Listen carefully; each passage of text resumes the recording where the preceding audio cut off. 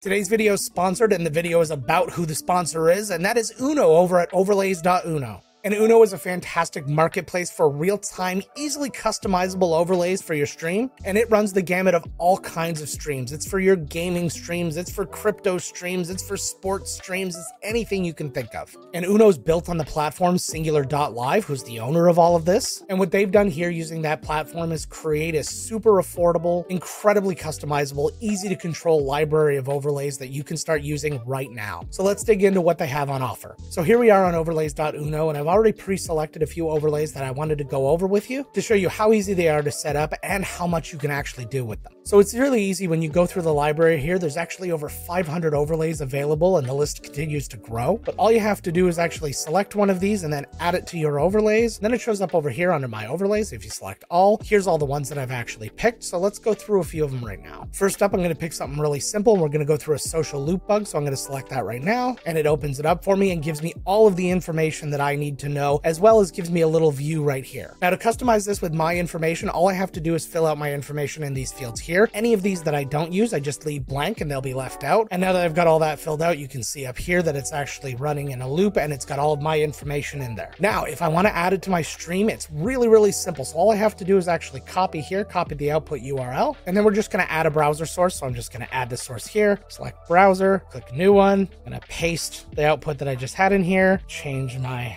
resolution, and there you go. So now we can see the loop right above me. There we go, and that is now just running on a constant loop. Now let's say for a second that I want to change this up and I want to customize it. I don't want it running on a constant loop. We have some options here, so let's click customize. Now we have some things. So autoplay forever. If I click on here, it's actually going to be every one minute, every three minutes, every five minutes, every 10 minutes. So let's do every one minute for now. And what it's going to do, it's going to go through all the values that I filled out, and then it's going to stop for a minute, then start back from scratch. And I can also change your text color and your background color here, no problem. Vertical position, horizontal position, and scale, you can change all of that here as well. But that's it. You can see how simple that was to set up, and it's done. And you can see here they have all kinds of social loop options, so you can pick the style that best suits your stream. Now I want to check out another really cool thing they have, and that's their lower third wizard right here. And when you have something like this, this is exactly what you want when you have your specific branding. You might have your colors that you want to use and all these different things, and this allows you to do it in such an easy way. So the first thing here, let's just set up a really quick name lower third. So I'm just going to call myself by my actual name because that makes sense. Then here, I'll just use my channel name. So then that's it. That's as simple as it is. You just put in whatever text you want to put here. Now, what I'm going to want to do is I'm going to want to change the colors to make it match my brand a little bit more. So I use the purple and gold. So what I'm going to do is this top little bit here, I'm going to select a purple color. So let's go find something that royal purple. And then for the one underneath, I'm going to set up a bit of a gold like that. So really, really quick, you can just set up your colors as easy as that. And if you have your hex codes that you want to use or anything like that, you just can plug them in here. Now, if we keep going down, we have a bunch of other options. So we get to our effects here and you have your text justification. So you can actually change that lower third to be able to do whatever you want it to do. Your title gradient, so you don't have to have anything like that. You can just see the background right now. If I change it from right to left, you can see that change up. You can just turn the whole thing off too if you wanted to make a little bit more of a flat image. And you can adjust the opacity of each of these gradients so you can see how extreme it gets when we do it on the bottom there. Then you just have some title modifications here, really simple. So you got your bold and regular, so just go like that. Make your changes. You can also italicize if you are so inclined. I don't know why. Not a big fan of italics. Your spacing, you can change it up to spread it out. Padding, so you can actually increase the size here, just like so. And then your stroke, so that's the actual thickness of the line around. Then the subtitle modify, all the exact same options. Then down here, we've got our corners. So right now, title, top left, it's got a little bit of a curve. And if you adjust it, you can take that curve away completely, or you can add an even bigger one. So we just kind of add a little bit of a curve there. And let's do that with all of them. Let's try and make them equal so they actually look good. So now you have a perfectly rounded corner title field, and I like that. It looks kind of nice. And then you do the same thing with the subtitles here. So that's how easy it is to get these set up, and you can have all kinds of these graphics set up. You can have a number of this exact same template with different name information all set up and ready to go, and you can control it all from your Stream Deck. Using Uno's Stream Deck plugin, which you'll find on the Elgato Marketplace, you can control every single one of these overlays directly on your Stream Deck really easily. All you need to do to do that that is go up here where this key is and you copy the Uno token. Then in the Stream Deck app, which we've now got open now, let's uh, drag in a new Uno control. And then we're going to paste the token right here. And now we've got the controls for this specific overlay in here. So I can actually choose what we want to do from here. And it has all kinds of options. So with overlay visibility, you can show it, you can hide it, you can toggle the overlay, all sorts of things here. Overlay content, so we can change overlay fields. So if I did that right now, I can actually go in here and change some of this information with the press of a button. And we have to be really clear. You can't use something like Stream Elements to do something with this level of control, but you could use this on any software that you can think about. I'm using OBS right now, but you could use it on Streamlabs OBS or any other type of streaming software. As long as you can plug in a browser event, you're good to go. Now let's pick another overlay and a totally different way to control it, just in case you don't have a Stream Deck. So we're gonna check out this talking points one right here, and we're gonna open it up. And again, really, really simple setup in front of us. The first thing we're gonna do, I'm gonna align this to the left so I can put it up on my screen right now. Then again, we're gonna copy the output URL. We're going to add this browser event, and you can see that it shows up immediately. From here, if you're doing something topical or news-based, you're having some kind of a discussion panel, an overlay like this is really, really cool. Now, let's go over how to actually navigate it. So the first thing we're gonna do is we're gonna enter in some topics. Now let's do some recoloring here. Again, I wanna just brand it a little bit more to myself. So we're gonna do a little bit of a gold overlay here. And that looks a little bit more my speed. Now, when you wanna go through these topics, all you have to do is change what the active topic number is in this template. So I'm gonna change this position back over to the right just for a little second and cover my face up because that doesn't matter as much. And I click to position two. You can see now that the second one is highlighted and the other one's been marked as complete. And if we go to three, it does the same thing.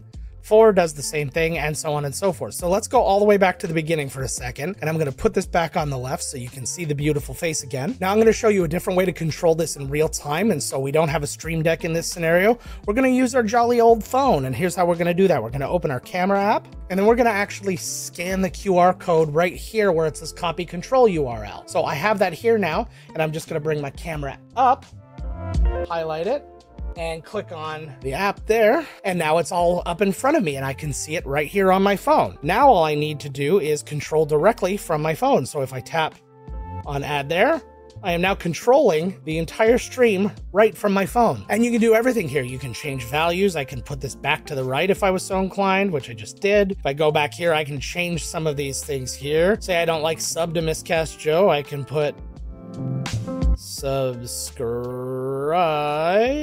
And now when I click that, so I've now updated that and I did it all on my phone. And what I like about the phone option is again, you don't need a Stream Deck to actually make any of this work, but you also don't have to do any of this setup ahead of time. You can just scan and then whatever's in front of you, you can just do. Next, I wanted to highlight something else they do and they can actually pull data from different areas. They actually have access to census.gov, crypto.com, or you can use your own Google Sheets or an RSS feed or anything like that to fill in data in these different types of lower thirds. So let's open up this crypto ticker for a second because I know there's a lot of crypto streamers out there. And we're going to pop the lower third up here. So it's already running. And then you can see over here on this side, you have all kinds of options in terms of the different cryptos that you want to check. So if you want to go in here, you can actually scroll through this giant list and just pick whatever you want. I don't know much about crypto, so we're just going to just pick a few and it automatically fills in all of this. And this is live information that's coming from crypto.com right now. It will update as it's going, but you can have this thing running all stream long or you can bring it up and down. So you can go like this and you see it disappear, turn it back on, and you see it has really nice animations too. It's not just fade on and fade off or cut on and cut off. They animate into the scene and it looks really good. But you can get information from anything from sports to weather, so many different options, and it's really, really impressive. But again, if you just want to create your own kind of stats, you create a Google Sheet, you fill in the values that you want, and then you extract that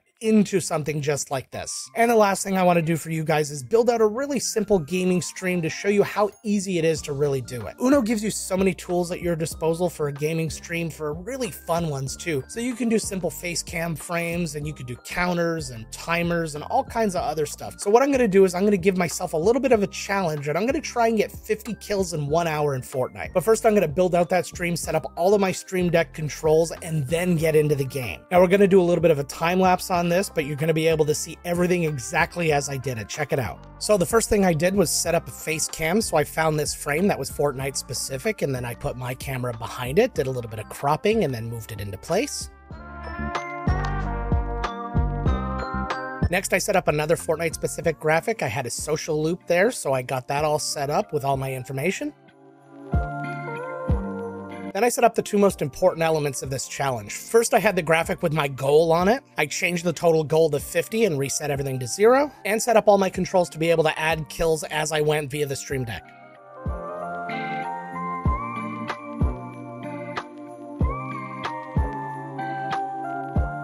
And lastly, I set up the timer. I set the timer up with a one hour countdown, put it over with my face cam and matched the colors directly to it. So now it looks like one cohesive piece over there. So all things told, we set up an entire stream with four overlays, all customized with Stream Deck configurations in just over 13 and a half minutes. Okay, so we've got a whole setup here and it only took a few minutes to actually get it done. So now what I'm actually going to do is just play a game based on this setup. I'm going to have a one hour timer. I'm going to try and get 50 kills, all controlled via my Stream Deck. So let's get it going by starting right now. There's the countdown. Let's start playing. So to actually try to accomplish this, I'm gonna have to play a lot more aggressive than I ever play this game. And the biggest challenge sometimes is actually finding people to engage with. Now you can see in the setup, everything is moving seamlessly. The timer's going down perfectly. The social loop is triggering as configured and everything is working perfectly with my counter.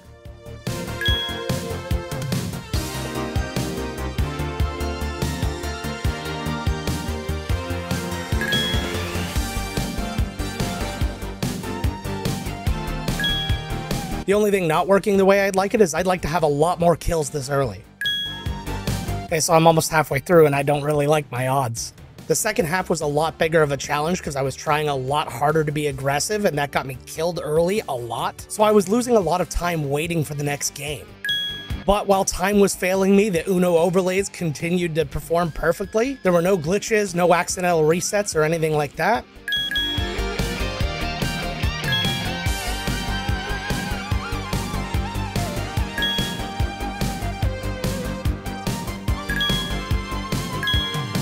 And as we counted down to my inevitable failure, I was happy that I just made an excuse to play the game for a little while. Uh, I didn't even get to 20 in the hour. That sucks. I guess that means I lose my channel. What?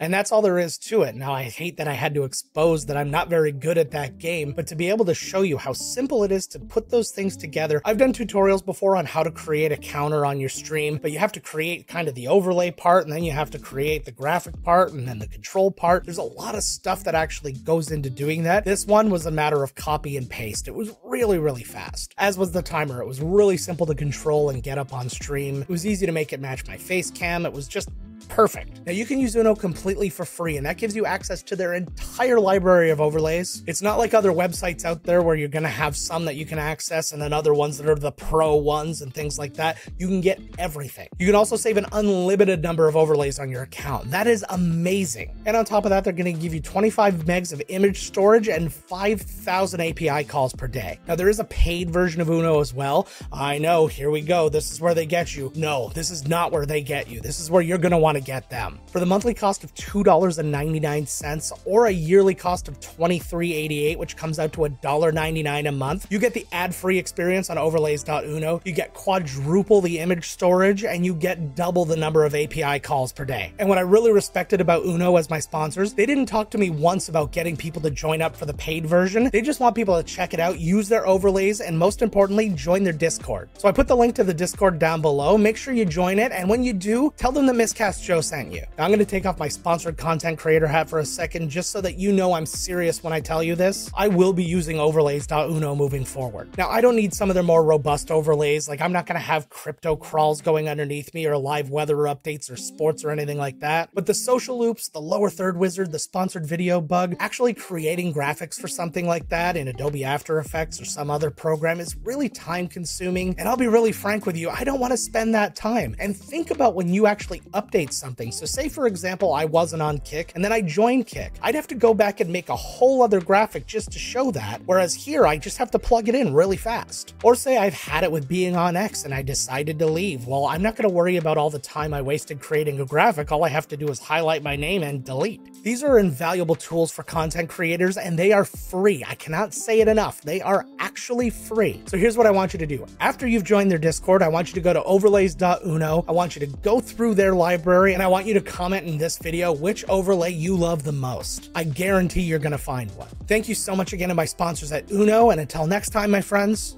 let's get to work.